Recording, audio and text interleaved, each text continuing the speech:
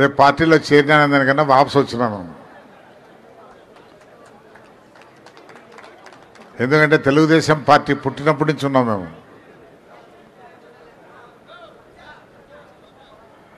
అయితే ఈనాడు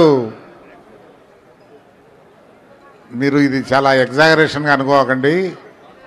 చంద్రబాబు నాయుడు గారి నాయకత్వం ఈ దేశ రాష్ట్రానికి చాలా అవసరం చరిత్రాత్మకంగా అవసరమైంది.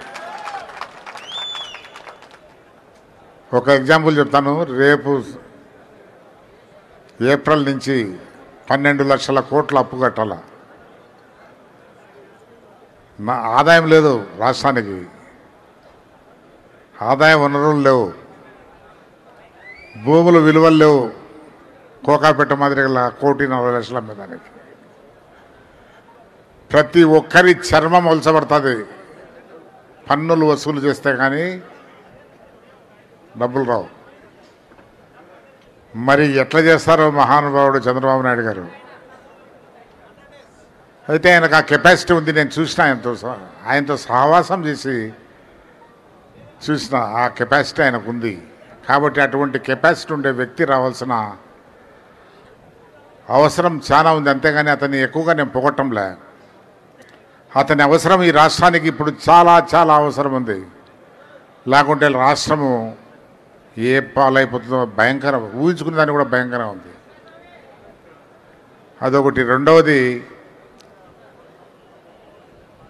పాలన అనేది కొన్ని సిస్టమ్స్ పైన ఆధారపడింది. ఆ సిస్టమ్స్ ఉంటే కన్నా పాలన జరిగిపోతూ ఉంటుంది. కానీ రాష్ట్రంలో ఆ సిస్టమ్స్ అన్నీ నాశనం అయిపోయినాయి. ఇప్పుడు ముఖ్యమంత్రి పదవి అది లగ్జరీ పోస్ట్ కాదు. ముఖ్యంగా ఈ టైంలో చాలా భయంకరమైన పోస్ట్ అది. మరి చంద్రబాబు నాయుడు గారు ఎట్లా చేస్తారో కానీ ఈ సిస్టమ్స్ని అంతా ఈ సిస్టమ్స్ని అంతా రెస్టోర్ చేసి మళ్ళా మీకు అనుగుణంగా పరిపాలన ఇవ్వాలంటే ఓ పక్క నిధులు సేకరించాలా? ఓ పక్క ఈ అరాచక పాలన పక్కన పెట్టాలా? ఈ అరాజక పాలనలో కొన్ని వర్గాలు చాలా లాపైనాయి. వాళ్ళంతా మళ్ళా విజృంభిస్తారు. అది కూడా కొంత కంట్రోల్లో పెట్టుకోవాలా? చాలా కంట్రోల్ చేసుకోవాల్సిన అవసరం ఉంది. అందువల్ల ఆయన నాయకత్వం చాలా అవసరం ఉంది కాబట్టి ప్రజలకు వేరే మార్గం లేదు. నేను చెప్తున్నా ఇది ప్రజలకు వేరే మార్గం లేదు.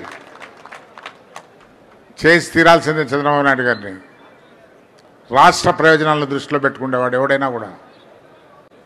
కాబట్టి తప్పకుండా ఆ- దశలో మనం పోదాం. మనమందరం కష్టపడదాం. అదే ఆలోచనతో నేను కూడా వచ్చా.